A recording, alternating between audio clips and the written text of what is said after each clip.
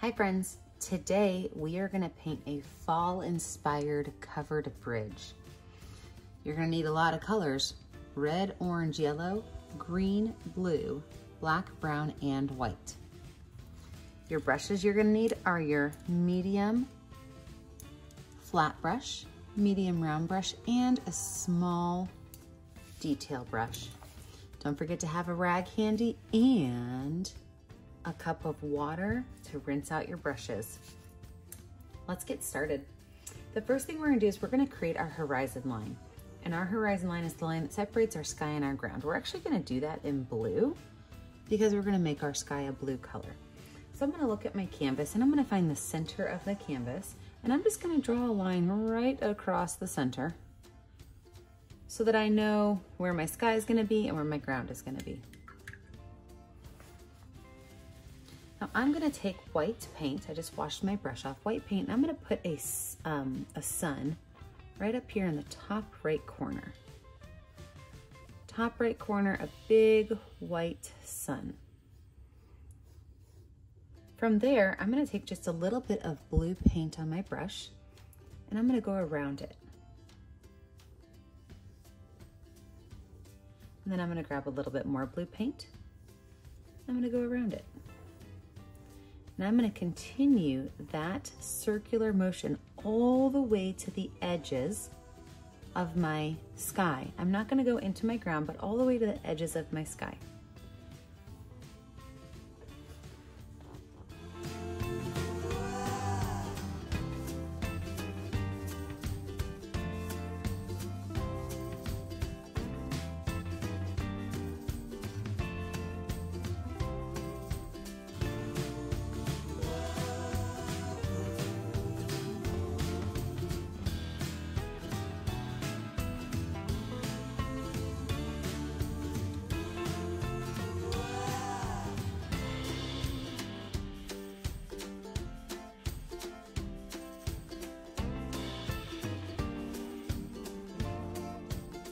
Now before I totally clean all my brush strokes up, I'm gonna wash my brush off just a little bit and I'm gonna add some white lines in my sky, just randomly, because what I'm gonna do is I'm gonna take my brush and I'm gonna kind of smooth all these lines out now. So I'm gonna start at my sun.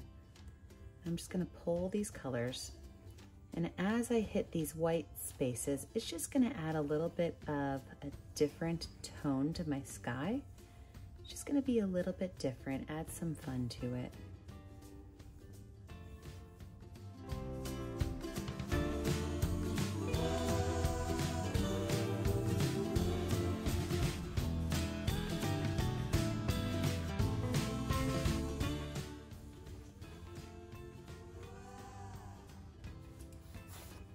Now from here, I'm gonna lay out where my grass is going to be and where my pathway to my covered bridge is gonna be.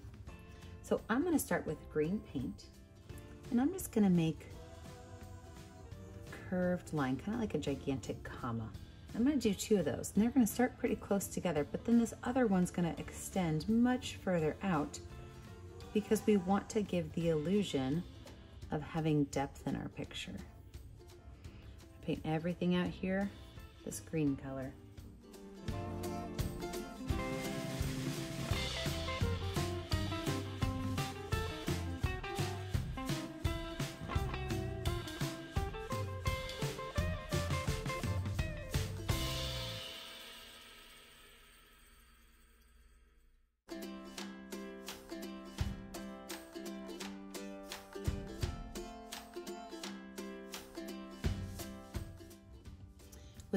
Brush, I'm gonna take just a little bit of brown paint and I'm gonna put some horizontal lines through my grass because this is fall, it's not early spring. Our grass is not going to be this bright and light of a color.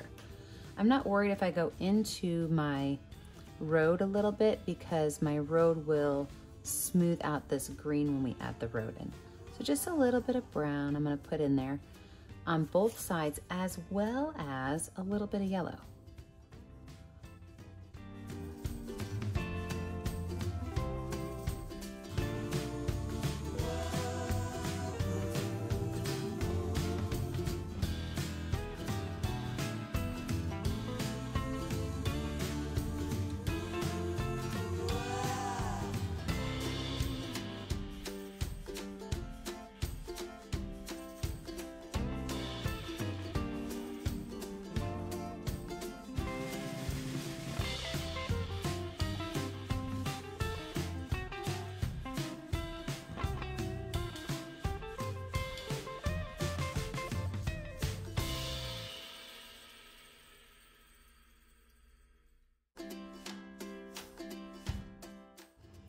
Now I'm gonna let my painting dry. When we come back, we'll put our pathway in and we'll lay out where our covered bridge is going to be.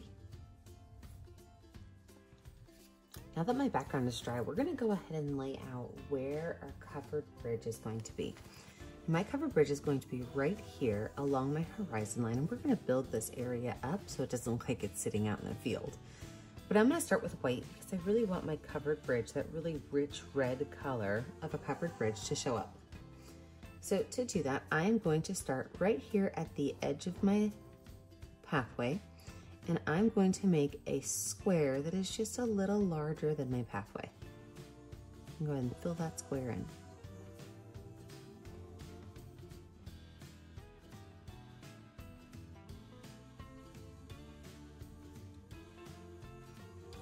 Now from there, I'm gonna take that square and I'm gonna add a triangle line, but this triangle is not gonna go straight up and down. This triangle is actually gonna be offset just a little bit where it's gonna be pulled to the right. So this would be my center, but I'm gonna go a little bit further than that and then down. This is what's gonna help me create my perspective.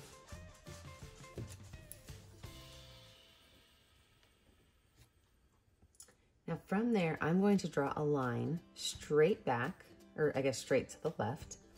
And that line's gonna go as far as I want my bridge to go. Now don't make your bridge too long, otherwise it'll kind of look weird. And you're gonna take that line and you're gonna make it just go all the way there and then stop. I'm gonna copycat this angle right here that I made. So now I have my roof line. And if you're worried you're gonna lose where your details are, you can always take the back of your paintbrush and kind of redraw those lines so that you know where they're at.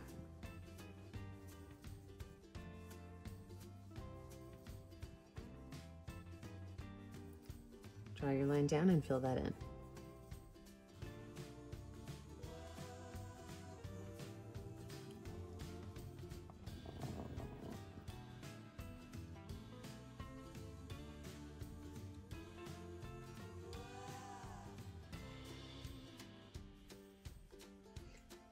So I'm gonna let this area dry and I can work on this area and my front ground, my foreground until that's finished up and dried. So for with this picture, I know a lot of times we draw our trees first and then we add our leaves in, but this picture is gonna be a little different. We're gonna add a ton of leaves in and then we'll put our trees on top of it. So we're gonna practice that over here in this area. So with my brush, I'm gonna start with yellow and I am just going to create a space that has full of little dots of yellow. I do not want these dots to be super prominent. It's okay if they run into each other, I just wanna fill in this huge space up here with yellow dots.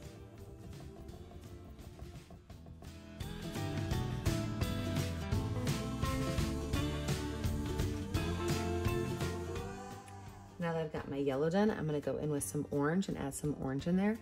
I don't wanna cover all of my yellow up, and I'm then gonna do the same thing with red. So orange, and then red.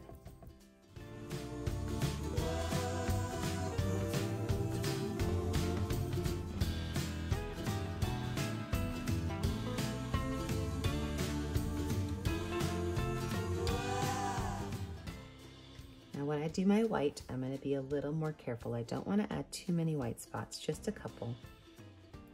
Just to kind of lighten the area up, but I'm gonna keep them mostly towards the top so it almost shows a little bit of a highlight to my painting.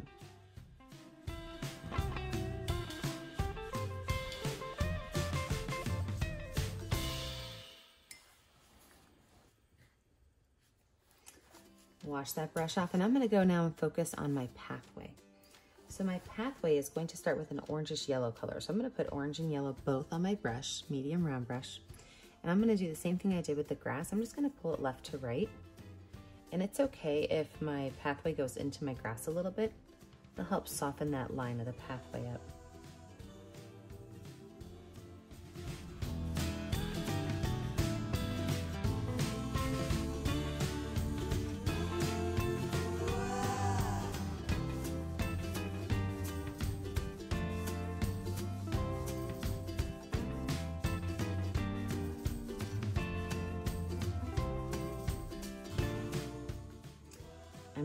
Take that brush and I'm gonna go in with a little bit of red just on the edges, pulling some red in.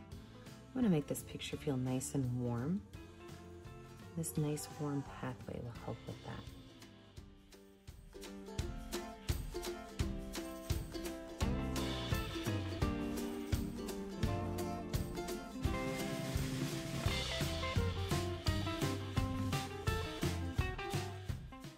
Wipe my brush off, take a little bit of brown in back here at the back. I'm gonna add some brown in. And this is gonna be kind of intermittent. It's not gonna be all the way across. It's not gonna be filling it in, just a little bit of brown line to kind of mute some of that bright orange we have.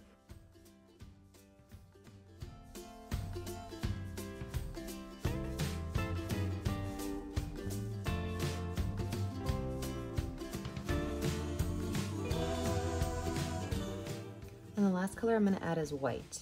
And that white is gonna be even less than the brown. So this white is gonna be very simple. You don't wanna see a whole straight line across. You almost wanna see what we call ghost lines, where sometimes you see it and sometimes you don't.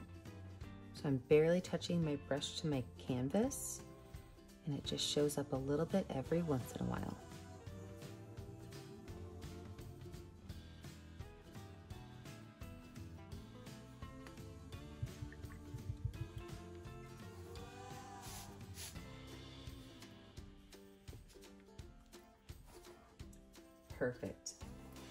Let's build up some of our green area just along our hillside.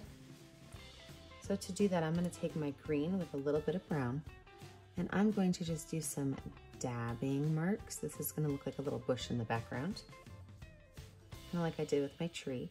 This should be an organic shape, so it should not be a nice circle. We don't have topiaries out here.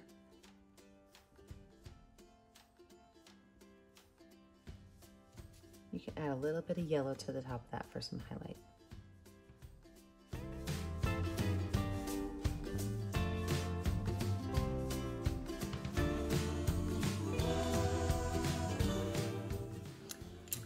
I'm gonna let my covered bridge dry and when I come back, we will add in our final details.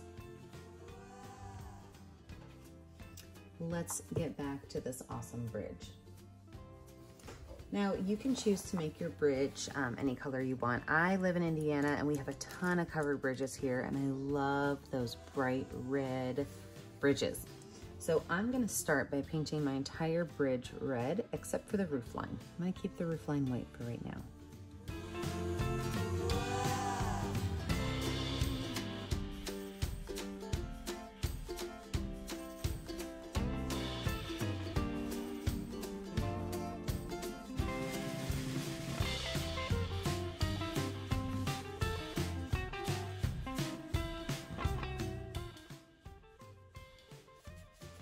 I wipe that brush off and I'm going to take brown and just a little bit of black on my brush and mix it up someplace on my paint palette so that I've got a really nice dark brown color. These bridges are not new. They should not look new. So with just a little bit of paint on my brush, not a lot, I'm gonna go right here along the top and I'm just gonna kind of pull some of that color down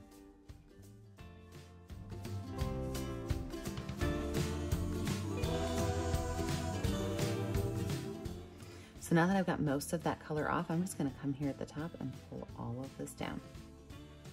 This will help it give the look of the wood planks, as well as a little bit of age to it. You don't have to worry too much about the bottom line because we are going to be adding in some greenery. I'm gonna do the exact same thing with the front of my bridge.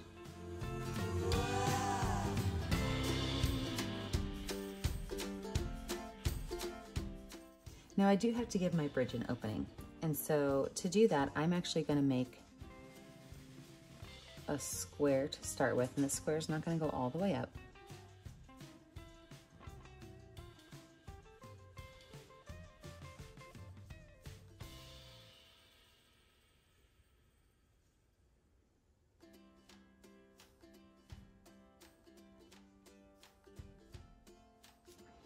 Grab my baby brush for this next part. And then the roof line I'm gonna put on here, it's going to have an angled line up, go straight over, and then an angled line down.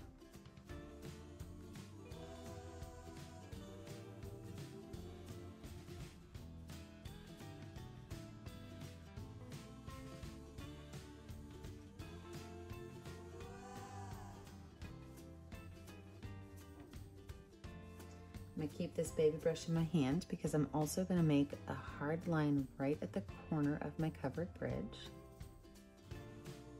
And then I'm gonna add just a few little straight lines. Remember, these can be lines that you barely see. These are not gonna be all the way across, just parts.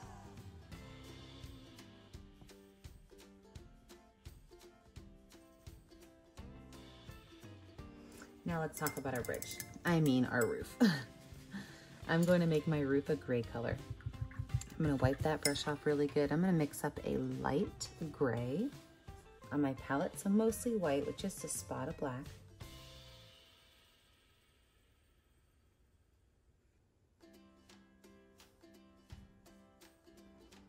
I'm gonna fill my bridge roof in.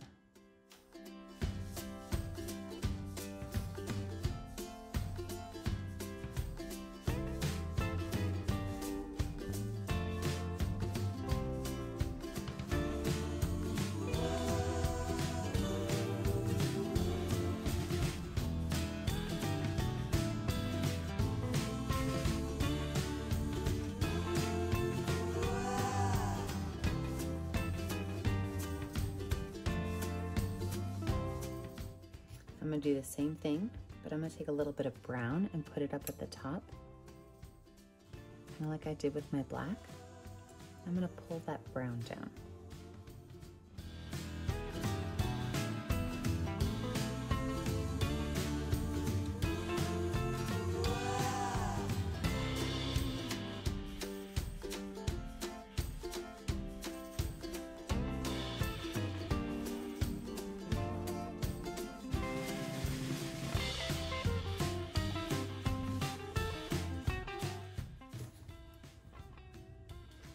With just a little bit of black on my baby brush, just a little bit.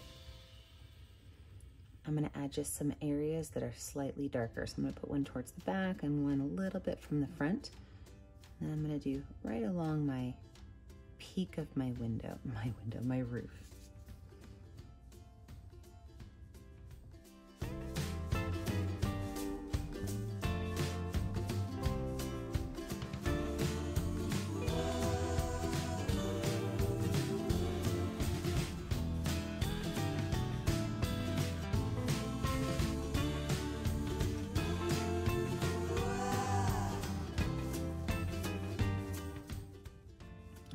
Course that small little line that shows where my roof line actually changes from the front to the side. On both sides.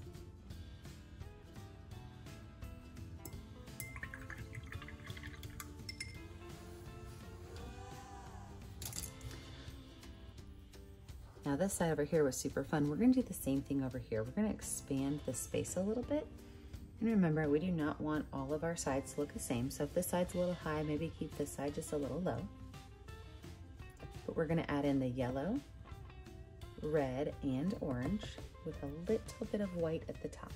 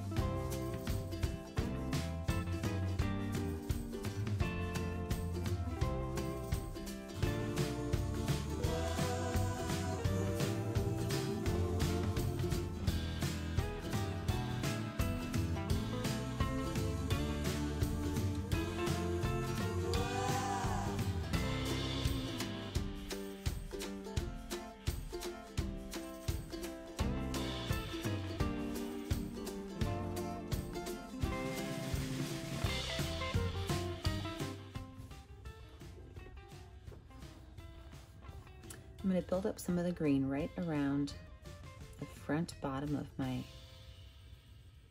bridge so that it doesn't have like a harsh line to it. Just gonna fill some of those spaces in.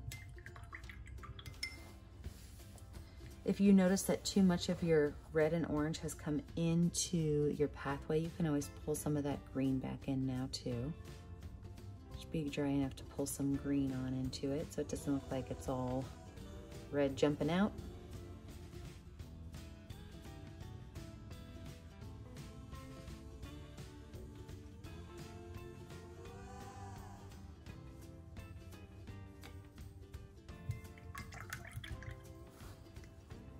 And then let's talk about our trees. So with my trees, normally I make my trees really big and fat and in your face. Um, these, I'm gonna use a little bit of watered down black paint and they're gonna be super simple lines. I don't need to see all of my branches because I'm really focusing on my fall colors. So I'm going to make just a couple of wavy letter Ys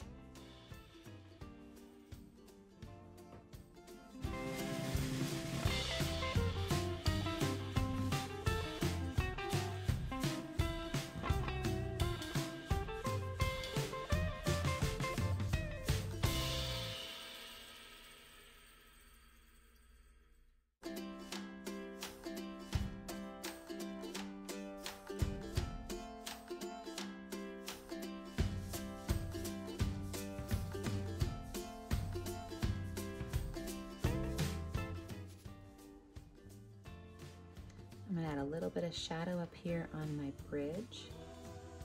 But just underneath my roof line, I'm just gonna add a little bit of black. I'm just gonna run that color back and forth a couple times. So I can still see that red underneath, but I can see that there's a shadow there.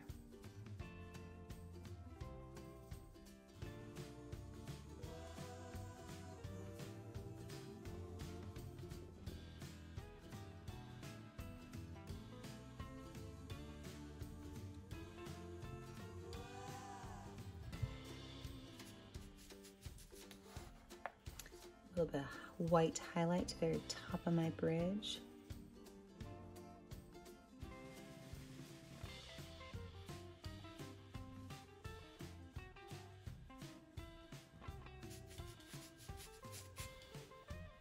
And then if you want to, you can drop a couple of leaves on your ground.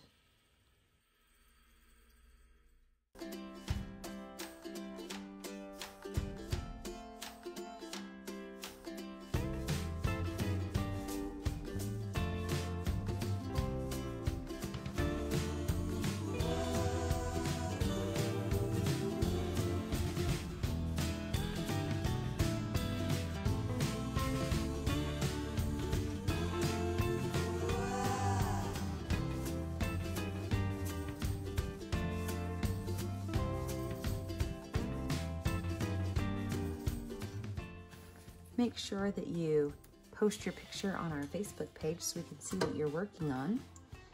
And like and subscribe to our YouTube channel so that you can be a part of all of our new pictures.